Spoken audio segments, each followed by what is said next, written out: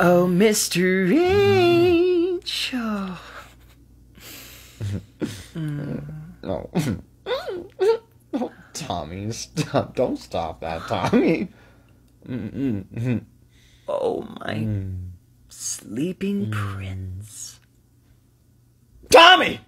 What are you doing in here? Hey, Mr. H. Good morning. Were you having a good dream? Yeah. I was. It was about a lot of lots of women were like chasing me around. It's where's my daughter? What are you doing in my room and in my house? It's eight o'clock in the morning. well, you know Cassandra.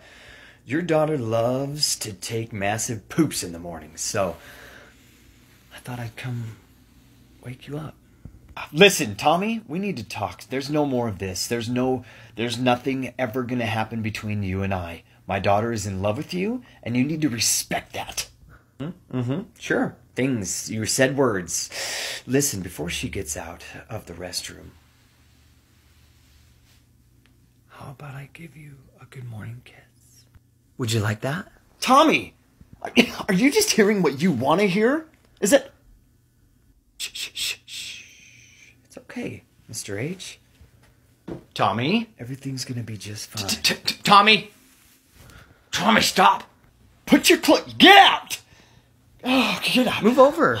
Tommy, I'm out of toilet paper.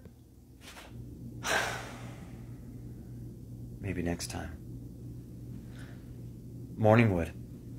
It's clogged, honey. Oh, babe!